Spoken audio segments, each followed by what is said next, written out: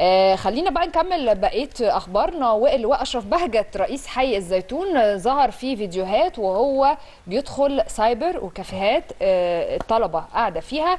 في الوقت اللي المفروض يكونوا فيه يا في المدارس يا آه في دروس أو على الأقل بيذاكروا في بيوتهم. رئيس الحي كان بيدخل المكان وبينادي على العاملين فيه وبيأمرهم بإخراج الطلبة منه. وطبعا في السايبر تم إغلاقه عشان آه هو شغال كمان بدون ترخيص. وكمان كان سارق كهرباء. التصرف ده في الحقيقة عجب أولياء أمور كتير وبيتمنوا تعميمه في كل مكان وخصوصا الأماكن دي بتجذب الطلبة بتدفعهم أحيانا للهروب من آه، المدارس. وطبعا إحنا آه، يعني بنؤكد تاني يا حسام على موضوع الضمير يعني حتى ده في حتة تانية كمان سرقة الكهرباء دي ده موضوع تاني. مم، كبسة. آه، حصل كبسة حصل على كبسة. الطلاب. قبل ما الطلاب كمان تخرج رئيس الحي قعد يوجه لهم نصايح كتيرة زي ما هم يستغلوا الوقت ده في حاجة مفيدة وعلى رأسها طبعا المذاكرة وإنه حرام عليهم يصرفوا المبالغ دي اللي أهلها طبعا آه، بيجمعوها عشان طبعا خاطر الدراسة. طبعا بيقولوا لهم ممكن مثلا رايحة درس بعد ال- المدرسة والحركات اللي كنا الناس أحيانا بتعملها زمان دي. وبياخدوها طبعا يصرفوها لو في السايبر أو في غيرها طبعا آه، من يعني خلينا نقول أي حاجة غير المروح للمدرسة. تعالوا نشوف الفيديو مع بعض ونرجع لكم مرة ثانية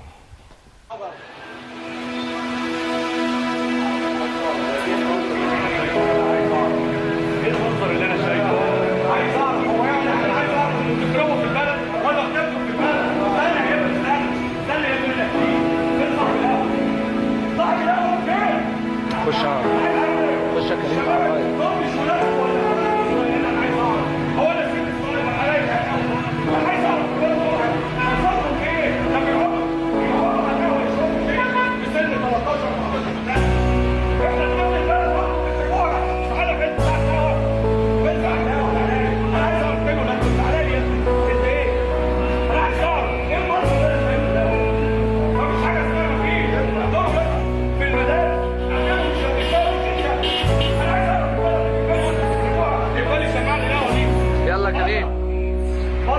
اتفضل منك إيه ده؟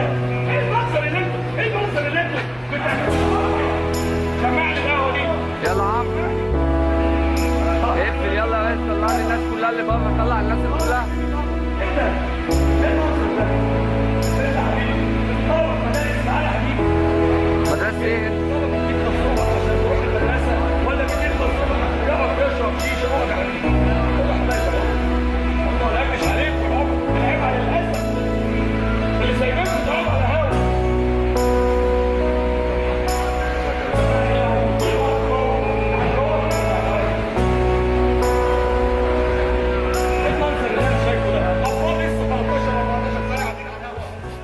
هو سايبر وقهوة. يعني يعني هو سايبر وفي نفس الوقت بيقدم برضه الشيشه ويعني style القهوة. طبعا إحنا سمعنا يمكن رئيس الحي بيقول له أهلك بيدوك فلوس عشان تيجي تصرفها هنا.